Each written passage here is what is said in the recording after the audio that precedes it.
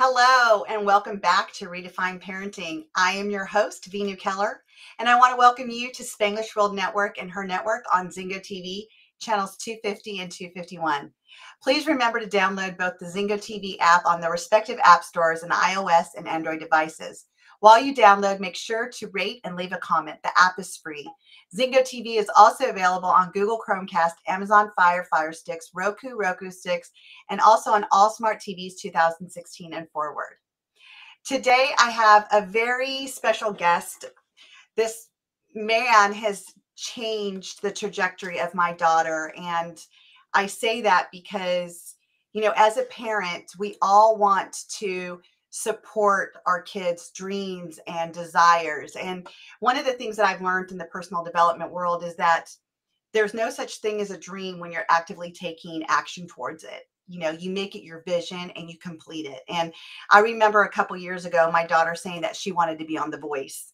And at the time, when she would sing, it was like we wanted to close our ears. I would joke that our, our ears would bleed. And I was so honored to be in touch with this man whose name is Anthony Wade. We call him Dr. Voice. And I, I found him through my friend Shay, who was taking voice lessons. And he came onto a mastermind group I'm in and he talked about the voice, but the voice in a way that was beyond what we just heard. It was a voice that we feel within ourselves. And I too have taken lessons from him as a speaker, as a coach, and especially as a mom, trying to enrich my voice so my kids can hear me from within me not just with you know on the outside of me so without further ado i want to welcome dr voice to the show who has many grammy winners underneath him including sam smith this is sam smith's voice coaches everybody so dr voice welcome to the show hi thank you for having me uh, delighted to be here and to share with you all I love it. I love it. So I just want to jump in. You know, we have a little bit of time and I want to jump in because I want to get our listeners to really understand the the gift of the voice right? Like as parents you know we talk to our kids or we talk at our kids. We we're constantly telling them do this do that. When we're screaming our pitch goes up here and we start yelling at them and we want them to do it. And we're wondering why they're not paying attention why they're not listening to us why it feels like we're just kind of like talking through them instead instead of talking with them. This is all due to, as a parent, we unfortunately uh, live with our children and with everything else in life. Everyone has this. Uh, we live with what we call expectation. And we expect our children to understand what we've said because we're grown up and we've learned everything we needed to learn. We've grown and we're, we're strong in what we do and how we see things. And we believe that they would know that. Right. Somehow there's this arrogance in us as parents that does not stand under the fact that these delicate little minds, these young, frail human beings, have no idea about this life, about why they're here, about what to do, how to be. And as a parent, we're terrible. All parents. I, we just go, no, do this, no, no, no, no. No, over there. And it's like, and the voice over there. And what's what's this doing? This voice, this intent in us to want to see, then get it right. And we expect them to do it. Now, this is the biggest mistake we make as parents. We're living in our own body, in our own confusions of life and living, going through what we go through, and we bring it in to the communication we have with our children. Right. And it's not right. It doesn't make them bloom, it shuts them down because we're not approaching in the right way. And for me, my understanding has always been that um, when you see a child, they they're just they're just in a very fragile place. I mean, the biggest problem for every human being, all the clients I've spoken to all over the world will all, all agree with me on this when I have my one-to-one. So oh, I'll go, oh yeah, that happened to me too. And I'm talking about very powerful people. So they, oh yeah, that happened to me too. And and it's like this: you you you're four or five years old, and you're drawing a little picture at school, maybe. And you Right. go, and you go, that one. And you go, that one. And you are in the creative flow of beauty and acceptance that you are drawn with the blue and the red and the green, that one. And you are so excited that you can do so many. And there's a new crown colour that comes, oh, that one. And you put that out. And all of a sudden, the teacher comes up and goes, I give you a gold star for that one. Mm, She has just, or he has just screwed you up for the rest of your life right. because now you have a condition on this beautiful, free, expressive young heart to say, no, you've got to do it like this one. Right. and you don't know how to do it like that one. So what happens? Frustration sets in, and then, and then the next day you see little Johnny get a gold star and a chocolate bar, and you get nothing. Now, low self esteem is being programmed into you even further, locking you down inside yourself to make you feel inadequate and to walk through this world and carry that on for the rest of your life until you get old enough to do the therapy that you need, to get old enough to do the, the, the progressive personal development that you need in order to realize that that wasn't right for you. Right. Yeah, I mean, that's so true. And so we have so many different influences that make us feel what's right and what's wrong, you know, in our lives. And especially when we're looking at our adult, the adults, like our parents, the teachers that are dictating to us what we're doing right and what we're doing wrong. Exactly. and you know and i also think that you know this is where we also bring the voice into it is you know the teachers have a tonality the parents have a tonality. It's interesting because when i ask parents you know when do you feel your when your kid when does your kid listen to you? And they say when i yell. Well what happens when they yell? They get louder their voice carries longer and all of a sudden that we have trained our kids to perk up and listen when we yell. So we're telling our kids five different times, clean your room, clean your room, clean your room. Nothing's happening. All of a sudden we raise our voice and all of a sudden they're moving to clean their room. Again, expectation. Yeah. Again, what we're doing, we are actually saying to the children, here it is again, we are actually telling the children what to do. And we expect them to understand and go ahead and do it. Now, here's the thing as human beings, if I bumped into you somewhere and I went, I want you to do this and get on that train and go over there and get on that bus if you want to go home, you're going to turn around and tell me to mind my own business, Right. right? Right. A child can't do that. You're the parent, is standing there and you're telling it to do this, that, and the other. It's no different to that child. Hmm. So, how should you be talking to that child? And this is, I've really put some great thought into this because I've seen communication, the lack of, is the biggest killer on this planet. This is why I became Dr. Voice because I realized that I want to help people have ease in communicating. And that's why I thought, how am I going to do that? Well, what's the biggest communicating instrument we have is the human voice. Show me anything on the planet Earth, anywhere that's worth anything, done anything, created anything, or experienced anything that has not been instructed by the human voice. I can't. It's very powerful. The voice is very powerful, and none of us care. We accept this, which is how I am. When we grow up, we live in a world where we say, This is my voice. Oh, Some people talk about that. They think that's them. They think that's the sound they are. That's not their sound. And, and, and when you're telling a child, telling a child, instead of see what you would do with a human being when you're grown up logic tells us oh i'm not going to tell this person to do this i'm going to go over and be kind to them first. Before you tell you to get on a bus or a train if you before i go and tell you that i would be kind. Excuse me uh, are you aware that you can catch a bus? Now what am i doing Now, I'm not telling you get on a bus and catch a train. I'm just giving this as a metaphor.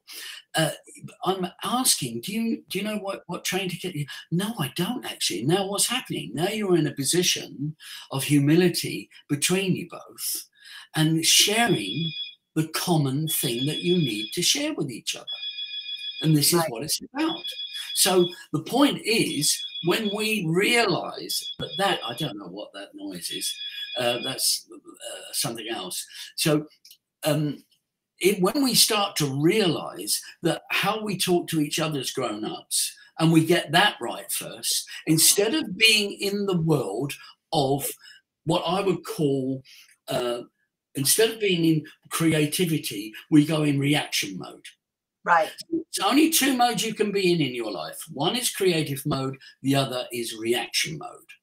So I know this being a parent, being with my children, and I split up with my wife many years ago because I had no control over my persona as a father.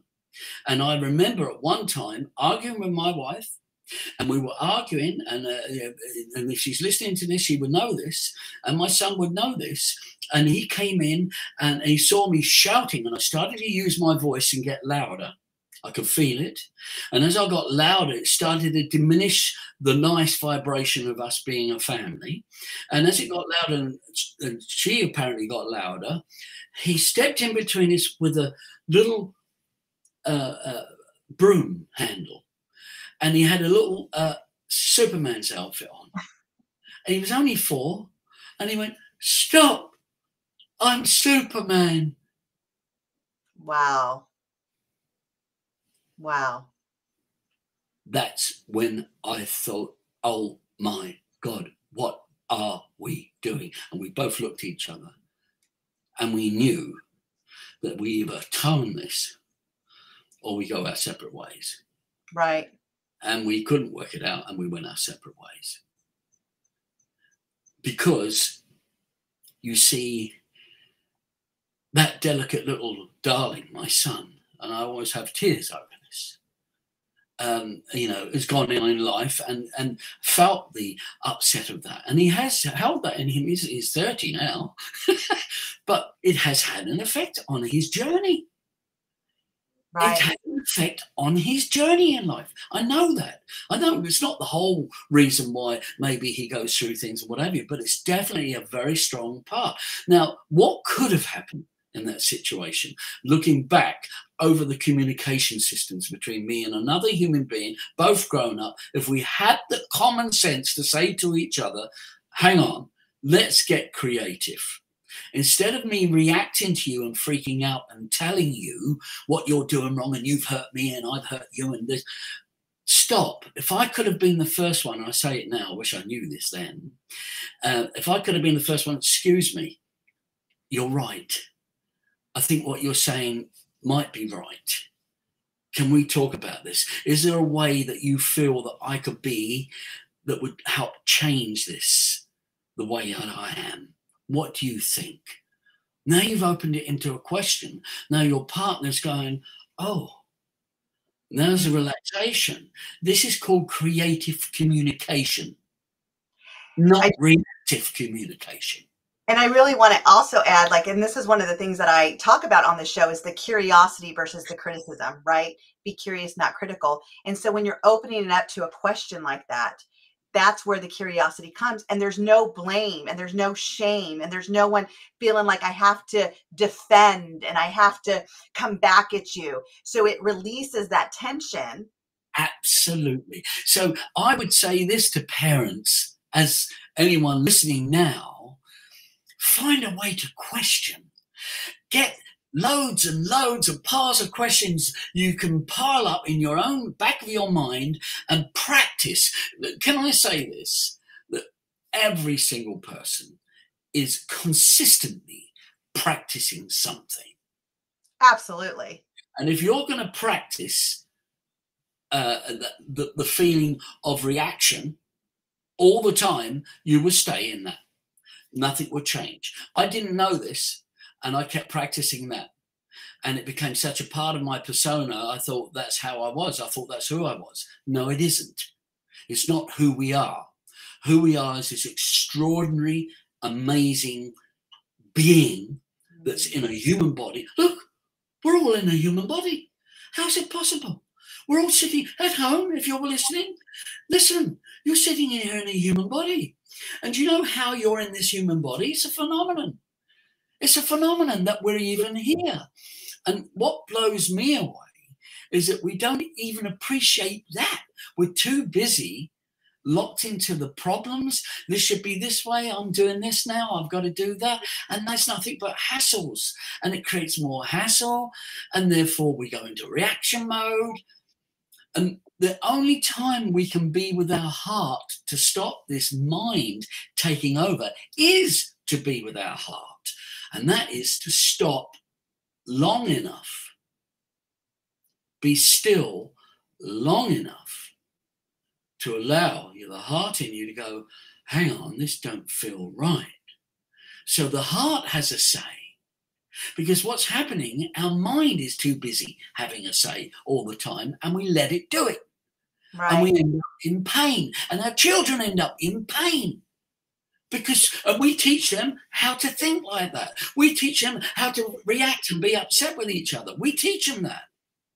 Well, we also teach them how to have expectations. And like that's, you know, I love that you say that because the only way that we can have conflict in our life or misunderstanding in our life is when we have an expectation that has not been met. Yes. And that's what we're also teaching when we're in that reactive mode is like, why are we reactive to what? We're reactive to the expectation that is not being met or not being heard or not being mm-hmm. seen. And it and it sends us down this rabbit hole, really. And then we're constant, like you said, practicing that over and over with our kids. And we are the role models as parents. So if it's happening with us, what are we teaching our kids? And it's so, and I just want to, you know, give a little context to this. So if my kids see me and my husband arguing, and then all of a sudden we're watching them argue, we're stopping them from arguing, but where do they learn that? Where do they learn to get upset with each other to resolve the conflict? They weren't born that way. The twins weren't born that way. They obviously saw, oh, well, mom and dad love each other, and then they argue, and then they resolve the conflict. So that's what we need to do to resolve our conflict. Exactly. And so there is an answer. There is a way forward. And I and I present I always present this in every one of my programs or seminars or speaking or teaching one to one and I bring it down to one thing. Your sound who you are in your body and your sound who you really are in there is actually so finely tuned to your sound. Mm we don't think this. Let me give you an example. A dear friend of mine, my most marvelous teacher, taught me this. He said this. He said, "We, when we were born, what was I, I would say it like this: that we were syringed into our being this little tiny drop, and that drop that was put into us is actually infinite. It's infinite." That drop is infinite. And when that drop leaves us, right, it goes back to the ocean. And when it goes back to the ocean, our individuality, who we are, our name, and everything like that we've associated with, no longer exists. Because now we have gone one with the ocean. But why is the drop in us? When we understand that the drop is chosen to be in you, that infinite drop, that tiny little infinite drop that's making you in there, which is infinite. What we don't understand, we think it's like, you know, because everything we do has got a beginning and an ending, and it's all finite. But this thing inside us is infinite. Its only connection to us, its only connection to us is our breath. Mm. When the drop goes back to the ocean, the breath goes with it. So when we realize that, therefore, our breath, oh, is a doorway to the drop, to the infinite. Mm. Our breath is a door, and we all know that, but none of us understand how to practice that. None of us really truly have appreciated that. And this is what blows me away is I've all found in my 45 years of working with the human voice, I've found that you can't make sound without breath. So, so breath has to come over the vocal cords, and there you are. Now, I'll give you an example. I gave a talk to a lot of people in a room the other day, uh, TV presenters, a company called Aspire. It was amazing. And they, they do this TV presenting. And I was there, and what happened was they, uh, uh, uh I was, talking, I said, every one of you works so hard at how you look. You get up in the morning, say, look, I've got to look right. Why? Because I'm going for a meeting. Oh, I'm going on television. I'm being a presenter. Or I'm going to meet my boyfriend or girlfriend. Or I'm going out to dinner. We really work hard at making sure we look the part. part. Why? Because we want to turn up to be the best version of ourselves. We want to turn up being who we really are. Is that correct? And they all in the room went, Yes. I said, Right. Do you realize that the closest thing to who you really are is your voice. Hmm. How many of you do voice work? The closest thing to who you are really your voice is the soundtrack to your life. It's the echo of who you are. Because when you entered this body, when the drop decided to come into ourselves, when it came and entered us, soon as it entered us, the first experience you had as a human being was the vibration of wah, your sound. Wah, your sound. Not, you didn't come in and you didn't come into the body saying, Whoa, what color nappy am I wearing? How do I look? you came in making sound. So, sound was your first port of call to the existence of your life. Mm. And from that point, we forget it. We don't use our sound, we don't use our communication systems properly. We have lost the art of communicating. We've lost the art of communicating. And, and that is the biggest terrible thing that's happening on this planet. Now, just have a look at the planet. How bad is it? I mean, what's going on out there? Mm. This, this country's not talking to this one, that one's not talking to this one. No, no one's sitting down. Having communication. Having communication. Mm-hmm. So it comes from where? And here it is and this is a little trick I want to give all of you if you're listening. Please understand if you do not feel your sound when you speak, it's going to be either nonsense, just something you've learned, something you think you've got to get over, something you feel that needs to be said, is going to have some sort of irky thing about it. Even in business, I don't care what you're doing. If you therefore breathe and feel your sound, now I would like you to try that at home if you're watching. If you took a breath in now, just a nice slight breath in through your nasal only, like this. If you do this with me, Veenu, it's in. And you tell yourself, oh, it's in. The air's in. What you done by saying it's in? You're telling your breath, look, it's in. You're saying to the infinite drop, I've opened your door. I've opened your door. It's in. Now, once you do that, it's in, then you feel what you say in that moment what always comes is nothing but alignment to who you really are. What always comes is the most authentic self you could ever possibly be. What comes is the real you. And no one can stand in the way of that. I love that.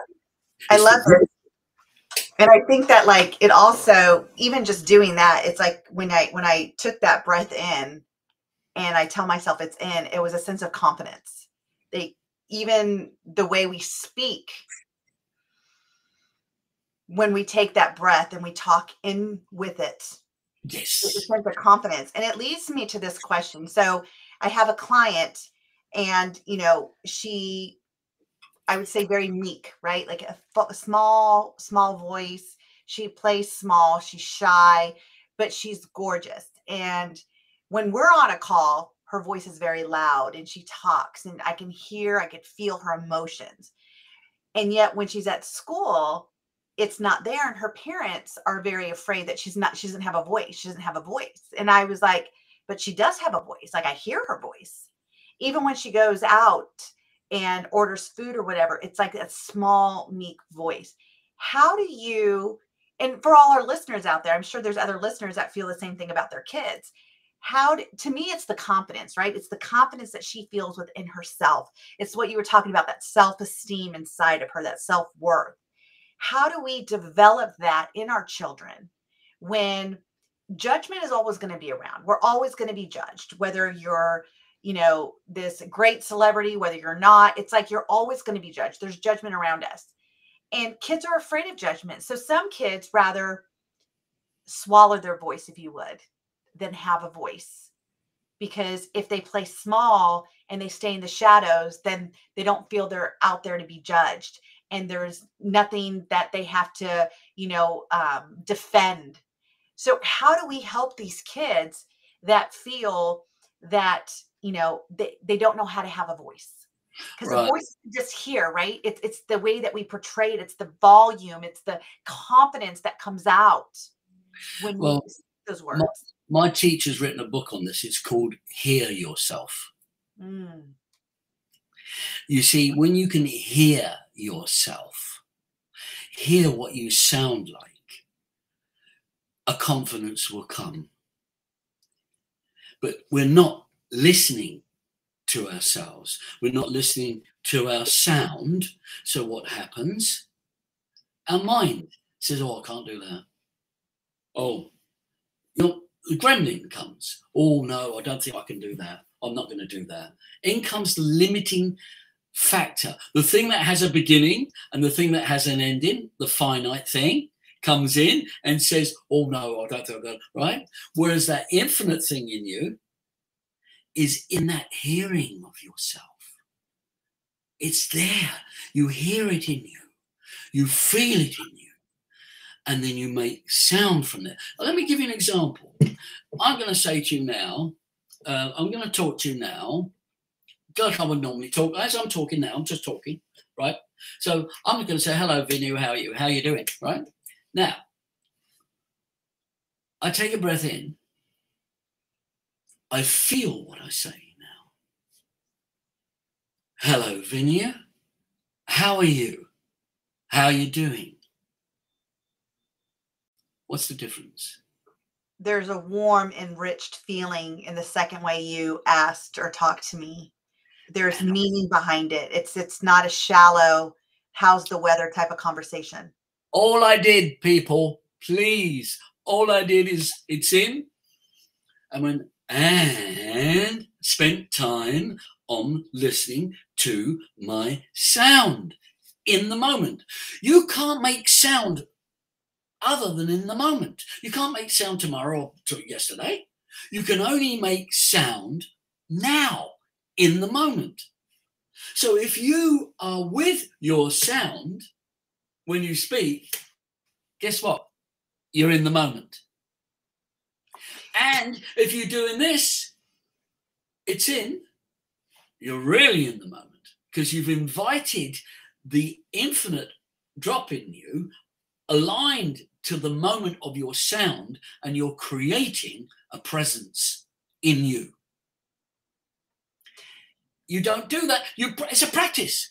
You can practice this. You don't practice it, you go back to your mind, you go back to the finite things, the problems, you go back to feeling this way, feeling that way. Oh, this has gone wrong. Why is this way? Oh, I don't know what to do. You go back all over that area. But inside you, when you can be still enough with your sound. So uh, it's easy for me to talk about this because I do it every day. I'm always and ah, I'm always singing, using my voice every night up. Oh, I'm using sound and I'm listening and feeling and being with those sounds as I make them. And also, it's in when I talk, it's in I feel good about the sound as it comes out because it's me in here doing it, not some concept or belief system or rigid thinking thing that I should be doing, something that I think is the right thing to do. What? What do we have to do the right thing to do? Just be with you and be yourself. A self expression, like that little child that's got stopped. We've got to break out of that. We've got to break out of that and say, no, I want to do that one I want to do that one. So you've got to say, I want to say this. I want to feel myself when I speak. I want to be with myself when I speak. When you talk to your child, if you were to be with yourself, I'll give an example of my son Jack when he lived with me years ago. I'd say to him, Jack, tell the lights off if you go to school with him. Well then, right. Turn the lights off before you go to school, I said. And I'd say it like that very quickly. Nothing. Never turn the lights out the day I went, Jack, turn the lights out before you go to school. Well, no, they were out every time. Why? Because he felt you. He felt your words. He felt your emotion. I'm in business. And he and he felt the love. Because why? Because if you take the breath in, it's in, you're opening the doorway to that love in that lovely bubble of infinity. That's the love. And so that comes out on the surfboard of your voice and delivers to that person. If you're going to bring your breath in and you're going to make a sound on your breath, you are delivering a vibration of love, of good feeling, of you coming forward on the surfboard of the words you're speaking and you're going to touch and move, inspire or uplift whoever is in front of you or make them feel comfortable at minimum. I think that this is so important because, and just for the listeners out there, when when you were first saying hear yourself, and I was thinking, I don't like to listen to myself. I don't like to, I don't like the way I sound when I play back the video. And then when I hear you now, it's hearing yourself when you take that breath and you talk. Yes. It's in the moment of hearing yourself. It's not the playback. It's the in the moment. Yes. And this and is you, what we all want to be. And the other person feels you so much more. There's not urgency, there's not rush. Because we ask ourselves, I know I ask myself this all the time with my kids. It's like, why aren't they listening? And then I have to go back and say, well, how was I saying it? I was saying it in a very rushed, tone of voice that, you know, like we got to go, come on, come on, come on. So everything's rushed. So what happens when we're rushed? Everything gets discombobulated in our head. What are we forgetting? What are we doing? We're going through a million different checklists in our head. So when we're talking in that tonality to our kids too, we're adding to the chaos that's going on in their brain. But when we take a moment, and this is what I'm just learning in this moment from you, Dr. Voice, is that when we take a moment to take that breath in, and then we speak with absolute intention with the voice. Yes. It's in that moment when we're feeling it, we know they have felt it. Yes. And this is a practice because yeah. look, you will forget.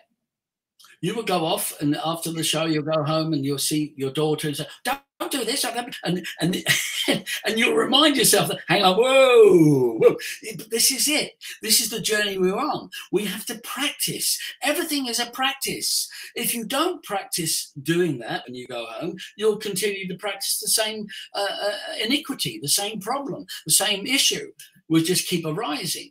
So you need to practice. And the beautiful thing, the most beautiful thing you can do to practice is to stop Hear yourself. Get that book. I mean, it's amazing. Hear yourself and then feel your presence. That's powerful. That that's where then if you do voice work as well, guess what? you are becoming an orchestra. You see, when you talk to your children, they see and they look at you and they hear you. Let's just say you're a typical person at home with your kids. Don't do that, love. Told you not to do that. Leave it alone. I told you this. No, no, no. What's that? That's like one instrument. It's like a bassoon. It's going, it's just one sound. And that child is sitting there and all it's hearing is one sound. And, and that's the intent that you're giving that child because you're in that mode. Right. That's the mode you were brought up in. That's the mode you learned. When you do voice work, you take your voice up to different areas. Oh, oh ah, ah. You can go into different colors. And therefore, your voice becomes an orchestra. So, mm. and when you start talking and you start sharing at different levels of your voice, it brings different moods. If you, if I did this, right?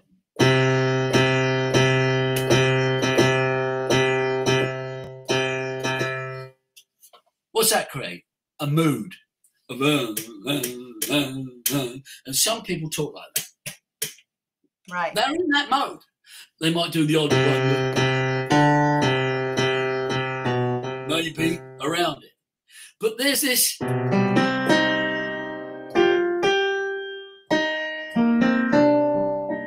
Different mood. Right. Now we've got a different mood. We've got musical. It's mood. So you're going. In your voice? I didn't realize that was the case. I'm so sorry. However, you know, be animated in your experience of your sound more as a practice. And I'm not saying this because a lot of people don't like me when I do this. They say, "Oh, you're just being, you're just being, uh, uh, uh, what do you call it? Um, um, uh, on a thespian. You're you're being an actor on stage." And I said, "Well, hang on, whoa, whoa, whoa. Okay, yeah, but hang on. Are we not actors on the stage of this life?" Every day of our life. As our man said, Shakespeare, are we not actors on this stage of life? Start getting your act together to be with these lovely sounds in your orchestra. You're missing them. You're missing them. And so when you weight these different tonalities in your own voice and you hear them and you feel them, it's exciting. Yeah. It's exciting you just i just had another aha moment i have so many aha moments with you. It's i remember having a teacher that was very monotone. And it was the dun dun dun like you were playing right? Just like one tone. And it's like we would go to sleep in his class. We didn't want to be in his class. It was very boring in his class. I we hated that class. Like all of us would dread to go to that class. And then we had teachers that had more of the animated the orchestra playing in their voice. Yes. and they made class feel alive to us. It was like we couldn't wait to be in that class. We like lived in the moment of what they were teaching. They made you feel like you were a part of it. Yes. And it was really just in that moment that you were saying that I was like, wow. Because when you're describing this, I'm like trying to figure out which examples I can put to this to, to really make this alive for me. And immediately I went to being in class in high school and just having that difference of the monotone teacher versus the almost theatrical teacher in the voice you know that and it wasn't even their their demeanor that was theatrical it was just their voice it was like a choir an yes. orchestra like every instrument hearing that in the voice which made us want to listen even more yes. you know? So I, i'm curious about this. What about the people that have different voices like nasal voices deep deep, deep voices, high pitched voices that are pitchy. Like, are we born with these? These, these. No, no, we no. It, it, it's learned habits, and and and mostly. Uh, some people are misfortunate that they might be born with a left, left palate or something cleft palate or can't express things, but mostly it is learned and the see the thing is, uh, and and why people are like this, move on. You don't have to stay there. Move on. Find somewhere that you can go and express yourself and be. Look, I've really learned one thing. We're not here to be great at maths, to be great at science, to be great at music, to be great at these things. We're not here to achieve anything. We're here to dance. Mm. We're here to have fun. That's the purpose of this human existence. You know, and I proved this when I worked at the prison. I worked at a prison for five years teaching uh, children who've been offenders, young offenders in, in Kent, in England. And when I take these children, I noticed that they, you know, they were very down and very unhappy children, being murderers and paedophiles, all sorts there. And they're all from the ages of 11 right up to 18 years old. And I remember the head of the uh, uh, uh, uh, place come up to me and said, "Oh, doctor, what's how you doing?" I said, "All right." He said, um, "I said, look, excuse me. I hope you don't mind, but you keep giving me maths lessons to teach. I'm a music teacher. You throw me in with maths, and I ha- I have no idea what a fraction is. How can I teach these children maths?" And it was so funny because he said, "Well." you see, we we know little Alan who comes to your classes. He doesn't go to any of the maths classes, but when he knows you're teaching it, he comes. Really? He said, yeah. And when he comes, he passes GCSE this month because he came to your lessons because he did his maths. Even though I gave them the work, which was handed out, I didn't teach anything, but because in my lesson, I would animate I would, oh, I would be interesting for them. I would do funny things. I would make them laugh. I would make them feel good about themselves. So that opened the door for them to want to express or feel or learn more. That's all I did. And, and he said, so as far as we're concerned, you're the best maths teacher we've got in the school. Well, you know, it's interesting that you say this, even like with the tonality up and down, because um, like I said in the beginning, um, Dr. Voice, you have been coaching my daughter going on two years now. And I remember when she came to you, she had a very high pitchy voice. She was trying to imitate sounds so she can sound like singers. And now she has her own voice. And it's interesting because I've also listened to her reading. When she reads, she reads with such inflection in her voice now it's like almost a joy to hear her read and like i can hear her even with whether there's punctuation or not the punctuation she definitely emphasizes the exclamation points and the questions but yes. it's so interesting what you have taught her over the last you know year and a half about how to create that yes. colorful orchestra in her voice. And I hear it not just in her singing because she practices every night, especially in the shower. I, I don't know if it's the echoing in the shower, but that's her place to really shine.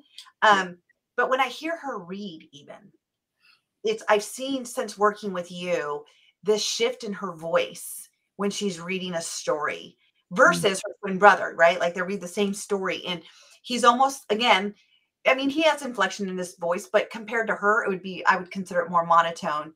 But hers comes to life when she reads a story. And it makes her even more excited now. Like it's built her own self confidence just in taking these voice lessons with you. It's well, everything in her.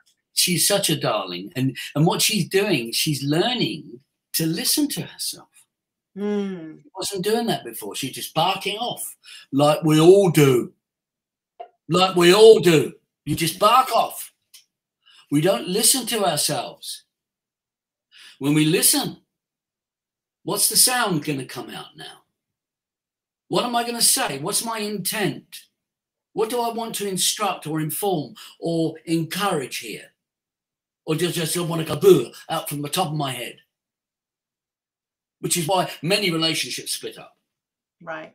Because so they're all in their heads about, oh, you did this, I did that, that. And it and you see, for me, it's stopping, just stopping the practice of all this illusionary concepts and beliefs about who we think we are and what we should be doing and why we're doing it, and start to feel your own presence in your sound, in the moment.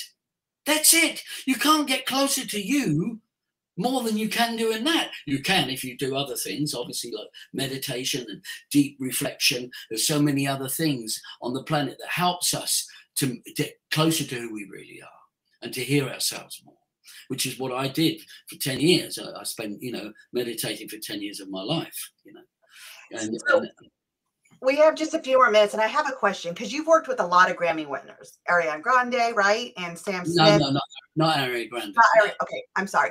So Sam Smith and who else? Who else have you worked with? Well, Lorraine Crosby, she was on a Grammy Award record. I would do anything for love. She's one of my dearest friends and a, a great uh, and got a Grammy for that. She, uh, well, Meatloaf got it, but she was the singer on the track with him, which made that song get a Grammy basically. Um, and then uh, I've worked with, uh, George Michael, many Grammys. Uh, I've worked with um, people who've been to my studio over the years, countless amounts of people. Uh, I, I sort of don't. I don't clock that up on my board because what is more important to me is have I made a difference? Uh, did I in, in, in, give the love where I was supposed to, and did I uh, help them get, achieve some movement forward in their life? And that's the most important thing. I'm looking at Sam Smith today, for instance. Now, Sam was with me for five years, and I did his first demo album, uh, which got him his deal, or he went forward to get his deal with Universal Records after. He came to the prison to see the kids. I was working there at the time as well, and he came down to you know because uh, he had his song out in the charts then. And what was incredible was um, when he went forward, got his Grammy award and everything like that.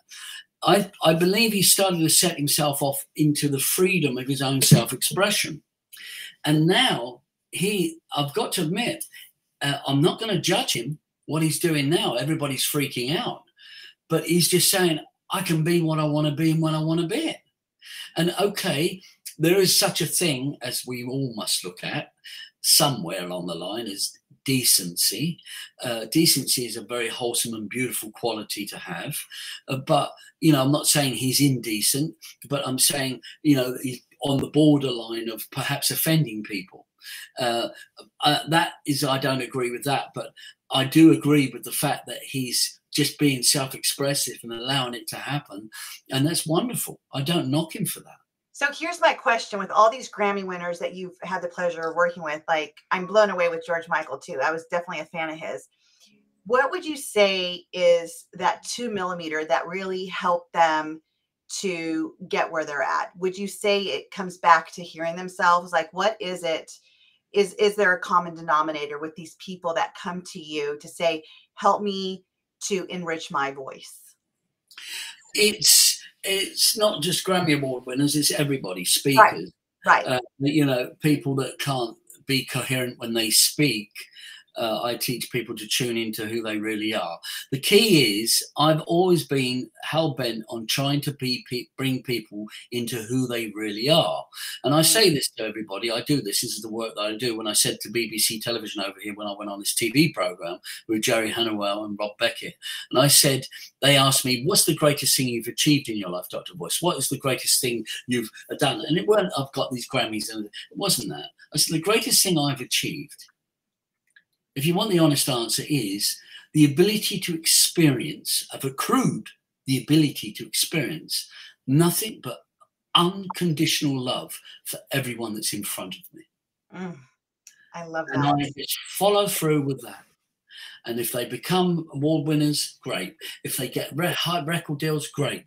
Most of them get record deals. A lot of them do come to me. And and and and, and if they find their true sound in their voice, when they get to the beams in them, which is my whole thing, is waking up the human being. There's a beam in all of us, and it's a very powerful beam.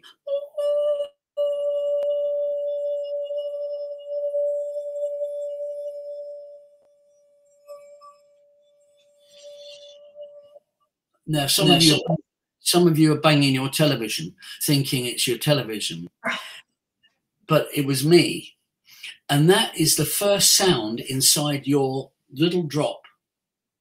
Mm, It's coming from that drop, and so what I've done, I've developed skills of being able to take that and turn it into oh the four beams. Yeah, ah, ah. And when you feel that in your body, oh my God, you become so attuned to who you really are in your singing, in your singing and in your speaking. You'll hear Oprah, I know every one of you. She does all these amazing beams and she talks.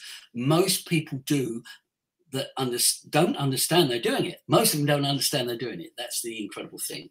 Uh, um, so, uh, uh, so it's really intriguing to see the change in people when I bring that into the awareness. Uh, that's where the change happens through the unconditional love of working with people, and it's just beautiful to watch people grow and expanding and, and do well from it. I love it. I love it. I love it. You have brought in so much gold to us today, to our listeners. And I just want to tell you how grateful I am for you being a part of my daughter's life, my life, and now the listener's life.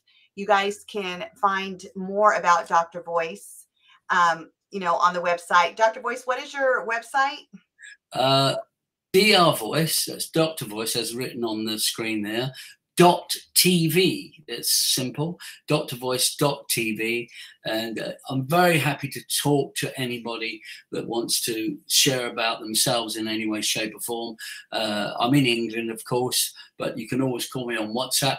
Um, I'm very open to discussion on this subject because if I can help a person budge themselves out of the mess of the miscommunication in their life, that's my greatest joy.